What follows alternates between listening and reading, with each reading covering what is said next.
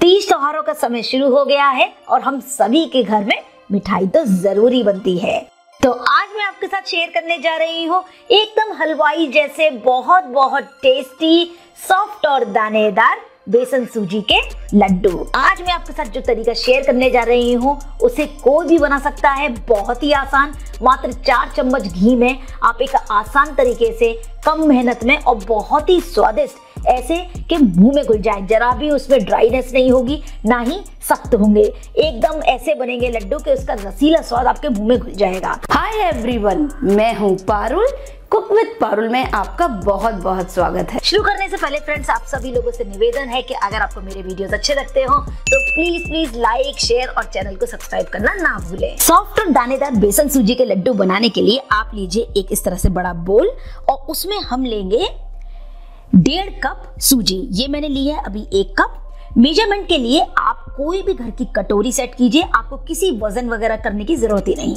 उसी कटोरी के अनुसार आप सारा मेज़रमेंट कर सकते हैं। तो अगर आप कोई कटोरी ले रहे हैं, उससे आप डेढ़ कटोरी सूजी लें। ये हो गई एक कप और ये आधा कप, यानी जो मैंने कप लिया है, उसी का आधा कप। और अब इसमें जाएगा डेढ़ कप बेसन। तो ये हो गया एक कप बेसन, उसी कप से और आधा कप। यानी हमने डेढ़ कप सूजी ली और डेढ़ कप बेसन। दोनों ही चीज़ आपको बराबर मात्रा में लेनी है। हमारे लड्डू एकदम नरम और सॉफ्ट तैयार हो तो उसके लिए सबसे ज़रूरी है घी। तो यहाँ मैं ले रही हूँ इस चम्मच से चार बड़े चम्मच घी। ये बहुत ही ज़रूरी है, सही मोइन रहेगा तो जो लड्डू बनेंगे बिल्कुल सख्त नहीं होंगे, उसमें एक अलग ही स्वाद आएगा।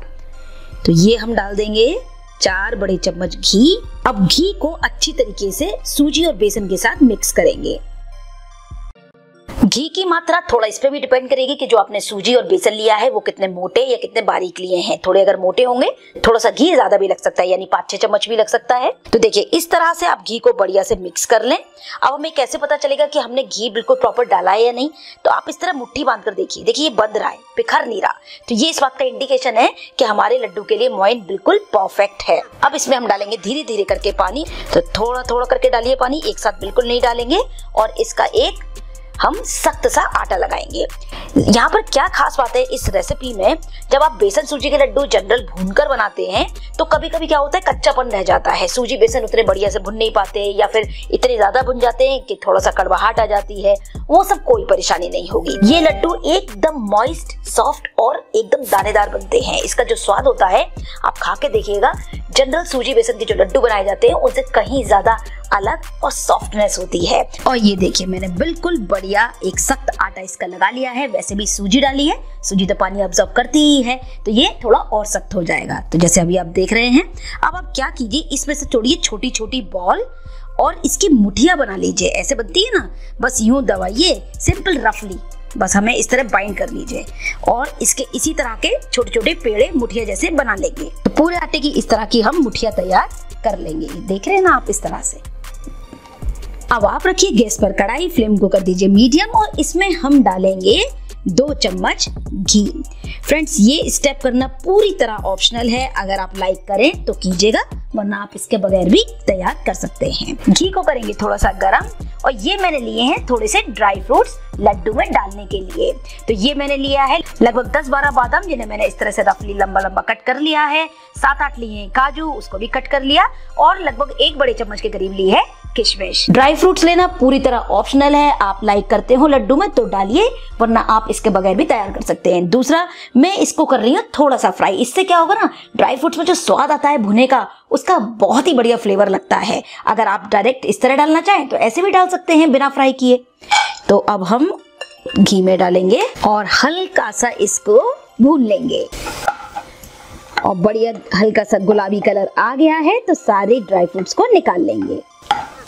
गैस को बंद कर देंगे।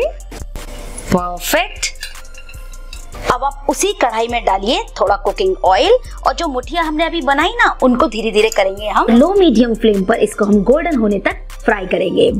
ऑयल में से अच्छी हीट आ रही है। और धीरे धीरे जो मुठिया हमने अभी तैयार की ना इनको हम करेंगे फ्राई बहुत ही बढ़िया तरीका है ये इस तरह से बेसन सूजी के लड्डू बनाने का।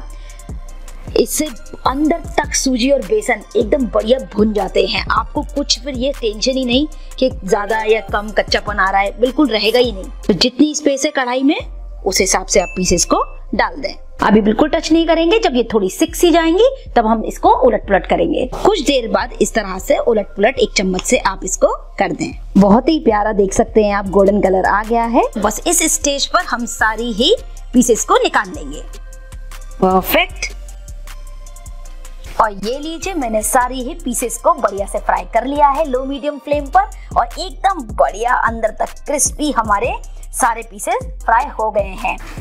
अब इसको तो होने देंगे बढ़िया से ठंडा और फटाफट बनाएँगे शुगर सिरप यानी चाशनी। तो चाशनी के लिए आप कोई पैन या कढ़ाई चढ़ाएँ और हम चीनी लेंगे डेढ़ कप यानी वन एंड हाफ़ कप क्योंकि हमने डेढ़ कप सूजी ली, डेढ़ कप बेसन टोटल तीन कप तीन कप का आधा हम यहाँ पर चीनी लेंगे, यानी वन एंड हाफ़ कप चीनी लेंगे। तो एक कप उसी कप का आधा कप चीनी का आधा डालेंगे पानी, यानी डेढ़ कप चीनी का आधा, तीन चौथाई कप पानी। तो जो कप हमने लिया ना एक कप उससे थोड़ा सा कम होता है, तीन चौथाई कप अब मीडियम फ्लेम पर फटाफट चीनी को घुलने देंगे। इसके लिए हमें कोई चाशनी नहीं बनानी, ना कोई एक तार, ना कोई दो तार, सिर्फ़ चिपचिपापन। जैसे शहद को अगर छूते हैं तो चिपचिपापन लगता है ना?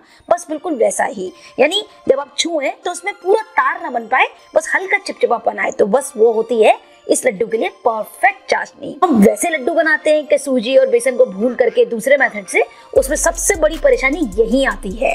अक्सर लोग वहाँ गलती कर देते हैं, या तो आपकी चाशनी कड़क हो जाती है, या दो तार की बन जाती है, जिसके कारण लड्डू बहुत सख्त हो जाते हैं। अगर आप ज़्यादा मीठा पसंद करते हैं तो यहाँ चीनी की मात्रा थोड़ी बढ़ा सकते हैं।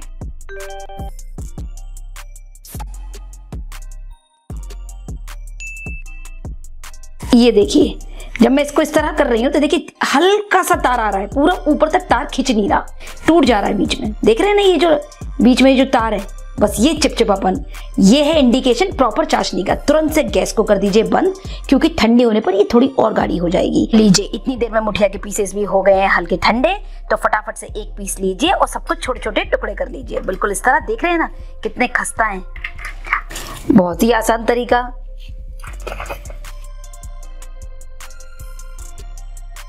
तो बस अब बहुत ही आसान तरीका, आप लीजिए एक ग्राइंडिंग जार और जब हमारे मुठिया के सारे पीसेस बिल्कुल ठंडे हो, आप धीरे धीरे करके इसमें हम पीसेस को डाल देंगे और दर दरा से इसको थोड़ा सा पीस लेंगे। जिससे सब पीस दानेदार सॉफ्ट पाउडर हमारा तैयार हो जाए। तो इसको हल्का दर दरा सा पीस लेते हैं। और ये देखिए, क्या बढ़िया हमारा सॉफ्ट दानेदार दरदरा मिक्स तैयार हुआ है लड्डू के लिए। आप इसमें ये नोटिस कर रहे हैं कि जो सूजी है, बिल्कुल बढ़िया फूल गई है, एकदम स्वाद आएगा। ज़बरदस्त, जरा भी हार्ड नहीं लगेगी आपको खाते वक्त। बस, हमारा रेडी हो गया सब कुछ। अब आप इसमें डालिए आधा छोटी चम्मच इलायची पाउडर फ्लेवर के लिए। अब गए इसमें हमारे रोस्टेड ड्राई फ्रूट्स मेरे पास थोड़े से बारीक कटे हुए पिस्ता भी रखे हुए थे तो सुंदर सी लुकिंग आ जाएगी, ये भी डाल देती हूँ। आप अपने चॉइस अनुसार इसमें कोई भी ड्राई फ्रूट्स नारियल का बुरादा, कुछ भी इसमें डाल सकते हैं। अब सभी चीज़ों को करेंगे हल्के हाथ से मिक्स और ये देखिए, मैं पास से आपको दिखा रही हूँ इसका टेक्सचर दानेदार एकदम। तो बस इस स्टेज पर आप डालिए चाशनी, जो भी बना के रखी थी ना, बस चाशनी को हल्की सी गरम, बहुत हल्की गरम। ज़्यादा गरम इसमें बिल्कुल नहीं डालेंगे, वरना लड्डू अच्छे नहीं बनेंगे। थोड़ी थोड़ी करके डालिए, हल्के हाथ से चाशनी को कीजिए मिक्स बस जितनी ज़रूरत हो कि बंध जाए हमारे लड्डू, उसी हिसाब से डालेंगे। याद रखिए, गरम चाशनी नहीं डालेंगे, बिल्कुल हल्की गरम।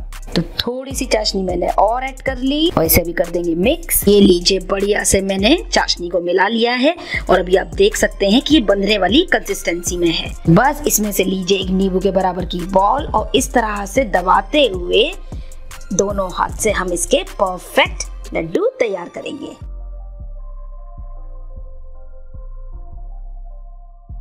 इस तरह दबाते हुए गोल कर लें। और ये देखिए कितना बढ़िया हमारा लड्डू तैयार हुआ है। लग रहा है ना, एकदम सुपर टेस्टी